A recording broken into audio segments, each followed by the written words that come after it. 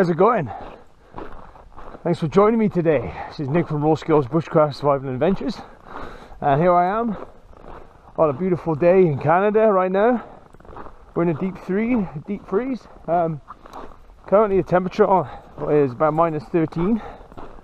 Uh, I'm not sure what it feels like at the moment, but what a great time to come out, bring the dogs out for a good wander, get them out of the house for a bit because they're nuts, as you can you will be able to see so I figured as I'm walking around, we could do a bit of natural navigation, show you some different things, and what to look for if you couldn't find a cut, if you don't have a compass, and you need to navigate to find direction. So, yeah, first couple of things we'll go through are the sun. If you think about it, think of the way I like to remember it is uh, the sun rises in the east sets in the west. So Japan is in the east, so land they call it the land of the rising sun. So yeah, sunset sunsets in the west, rises in the east. So that's how I would like to remember it. Just remember Japan, the land of the rising sun. So in the morning and in the evening, like it is now, if you could see the sun, which I can't, it's over, just over the hills, just over that way, you'd be able to gauge your east westerly uh, directions from that. So at the moment, because I have the sun on my left hand side, on my left shoulder, I'm currently traveling north on this trail. Currently traveling a rough north direction. If I turn around, put the sun on my right shoulder, I'm traveling in a southerly direction. It's that simple. So that's that's the sun. Uh, now that'll work almost almost to midday most of the time, depending if you can see the sun. Once you hit midday, of course, the Earth is rotating around the sun, so the sun will appear to be uh, dead dead north of you too high in the sky for you to be able to gauge east-west at that time. So, and of course there's a stick method as well, which I'll, I'll show you at a later date. But yeah, just that's one way of telling direction naturally. Right out in the woods. See what else I can find for you. I'm gonna keep cutting you on, cutting you in and cutting you out as I go and find things. Because this uh, this trail I'm on now it's not very exposed by the wind. So one thing I wanted to show you is back the other way.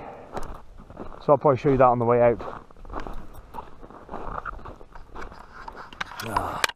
Ah, here we have our second method of natural navigation right here that I've just come up to. As you can see this is uh, snow swept tree stump has one side where the snow's blown onto it and has another side that's bare. What does that tell me? Okay. So that tell if if you're in your part of the world, you know where your prevailing winds are and which way they come from. Typically my area is from the west. I can gauge my west to east direction by looking at things like this. So here I have the snow blown on the one side and of course the what the other side of the stump is bare.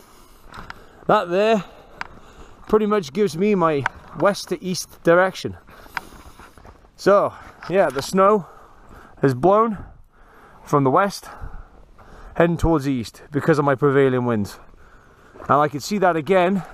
If you look at this tree over here it'd be the same on this tree. Right here right at the base of the tree you have a mound of snow built up. And as you can see it ramps up. It ramps up this side. It's came through the gap in the tree and it's just kind of mounded through on this side. And also this that, that tree just here too. It's the same thing. Ramps up the one side. Ramps up the one side. And there's no barely anything on the on the the eastern side of the tree with all natural navigation, you want to be looking for numbers. So when you see one piece of potential uh, means of getting your, direction, you want to find a, a couple more means of getting your direction via that method. So I have one tree, two trees, three trees, all showing me the same thing. So that there is a good west, west to west to east indicator. So if I carry on, if I travel this way, I'll be heading east. If I keep on traveling down the hill, straight this way, that's my north. Hopefully that's clear enough for you. anyway, let's keep let's keep moving. These dogs need to be nice and warm.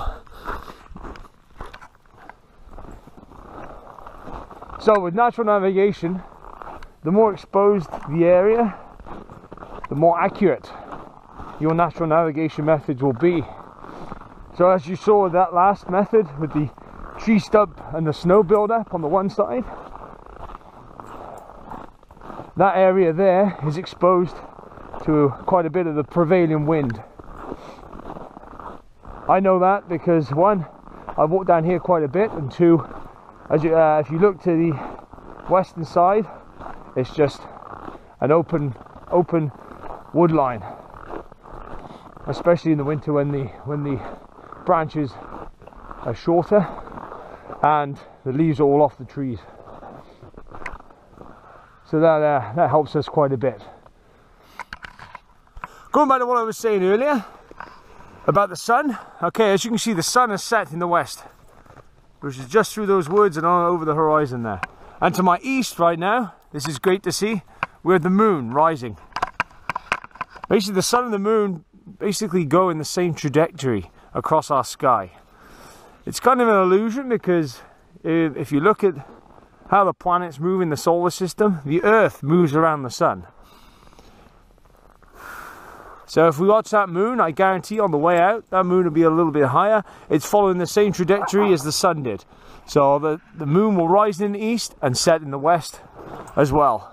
I just thought I'd point that out because it's a good time to see that. Let's carry on walking. These dogs are just nuts and they've got to be, we've got to tire them out. As you can see, I'm losing light right now. But uh, I'll be adding more to this natural navigation section on my website as the weeks go by and the months come through. So, hey, from me, I'm going to say thanks for watching. Stay safe out there, stay warm.